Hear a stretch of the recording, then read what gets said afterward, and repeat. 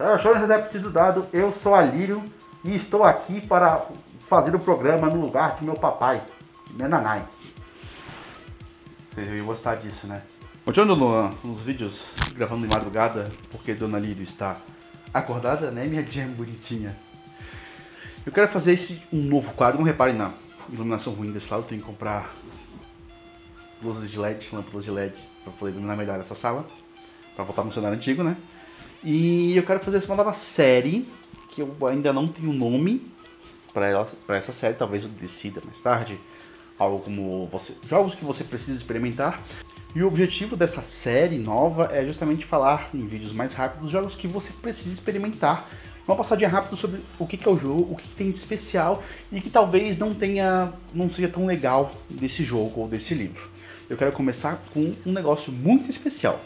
É o 13 Terceira Era, um jogo fabuloso, saúde, que veio depois da, do lançamento da quarta edição de D&D quando autores tanto da terceira edição quanto da quarta edição desse RPG mais jogado no mundo decidiram criar um novo sistema. E ele não, não, não são tipo, ah, vamos pegar aqui coisas das duas edições, juntar e fazer um novo RPG. Não, eles aproveitaram mecânicas já bem conhecidas e bem estruturadas para fazer um novo jogo que é o 13 Terceira Era. É um jogo bem sólido, bem firme, com várias regras similares, porém diferentes. Mas o especial para mim é justamente que ele tenha um cenário muito rico, que é esse cenário da 13 Terceira Era. Basicamente existiram várias eras anteriores em que heróis mudaram o mundo, né? O mundo acabou e recomeçou 12 vezes, tá na 13 terceira vez. Já. Jesus amado. E o legal desse cenário, desse, o sistema, né, ele já vem com isso incorporado que são os ícones, que é basicamente o primeiro capítulo do livro é sobre os ícones. Basicamente, quem são os ícones? Ícones. Tá aqui? Não, não, parte da página aqui. Os ícones, é, vocês vão ter que ouvir a, a Lírio comentando o vídeo todo, tá bom? Não tem problema, né? Os ícones são basicamente antigos aventureiros, NPCs, PDMs, né, personagens de mestres, que alcançaram níveis épicos, ou tornaram-se deuses, ou então tornaram-se outra coisa. Né? E agora eles são muito além. Então, sabe aquele seu personagem que fez uma campanha, que foi do primeiro nível até o vigésimo nível, e mudou o cenário fundamentalmente de alguma forma? Ele seria um ícone nesse sistema aqui, né? nessa ideia aqui. E além disso, todo personagem está ligado a um ícone de uma forma positiva, ligado a um outro ícone de uma forma negativa, né? Isso pode variar bastante, essa questão de, de acesso e números assim. Então, talvez você seja um agente da diabolista e mesmo podendo ser um herói ainda por cima. Existem alguns locais que vão ser ruins para você, e alguns locais que vão ser bons para você. Talvez você seja um agente, um agente do cruzado e quer tipo acabar com todo mundo da diabolista. E aí algumas, algumas coisas você pode pedir serviço para o cruzado, né, os agentes do cruzado ou para o próprio cruzado, para ganhar algumas vantagens durante as suas aventuras. O que tu se entalou aí, nenê? Tu se tá com, com dado?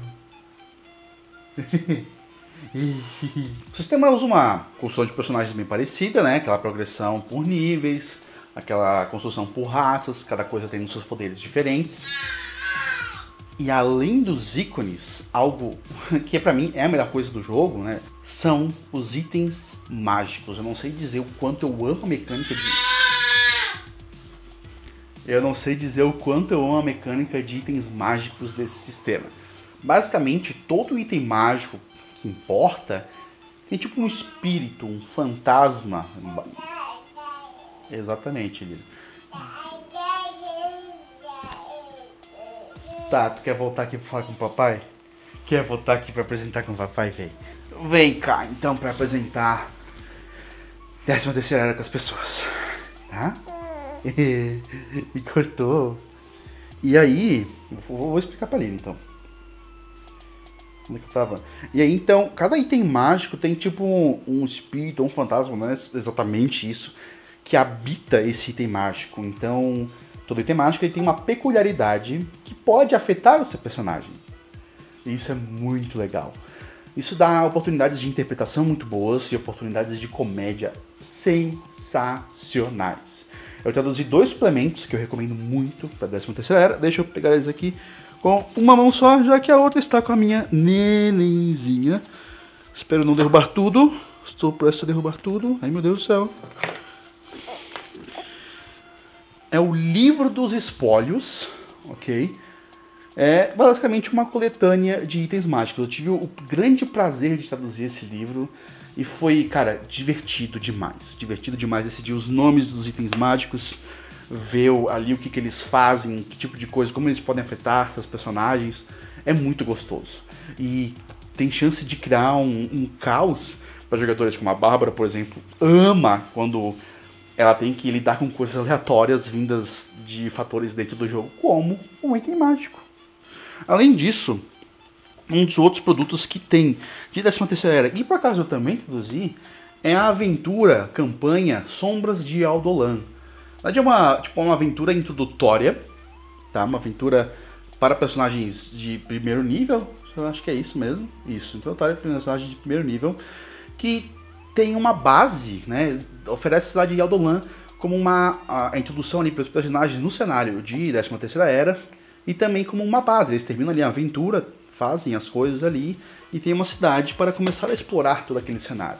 É como a sua cidade preferida, em Forgotten Realms, como Águas Profundas, uh, Portão de Baldur, né, Baldur's Gate, ou qualquer, qualquer seja, seja a cidade de Tyr, né, Pedroca, em Dark Sun, ou seja a cidade de Alberic, em Skyfall. De qualquer forma, você tem aquela base para que seus personagens comecem a procurar mais aventuras a partir daí. Os links para os livros estarão na descrição do vídeo.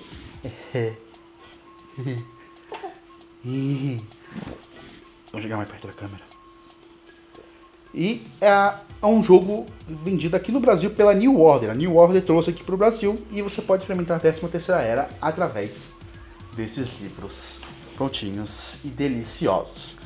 O único defeito do livro básico de 13 Terceira Era é que ele não tem ilustrações, por exemplo, dos monstros.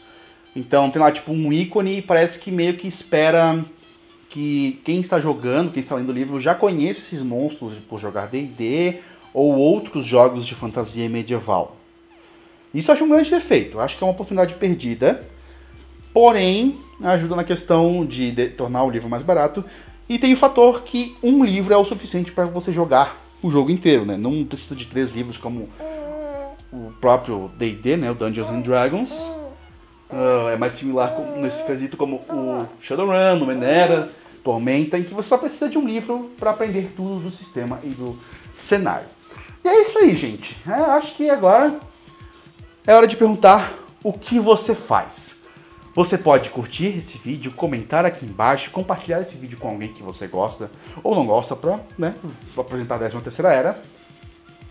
E é isso aí. Beijo, beijo. Falou, falou. Aí.